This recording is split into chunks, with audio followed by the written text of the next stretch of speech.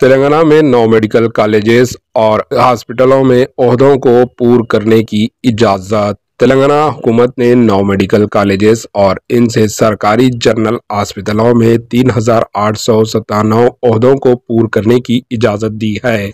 राजन्ना सिरिसिल्ला कामारेड्डी विखाराबाद खम्मम करीमनगर, जयशंकर, भूपालपल्ली कुमरम भीम आसवाबाद, जनगांव और निर्मल के नौ नए मेडिकल कॉलेजेस और गवर्नमेंट जनरल हॉस्पिटल्स में हर कॉलेज के लिए 433 ओहदे मंजूर किए गए हैं। वज़ीर सेहत हरीश राव ने इस सिलसिले में ट्वीट करते हुए कहा कि मेडिकल कॉलेजों में नए ओहदों की मंजूरी पर खुशी का इजहार किया। इन्होंने कहा कि वज़ीर अला के सी आर की क्यादत में सेहतमंद तेलंगाना ने एक और कदम आगे बढ़ाया है।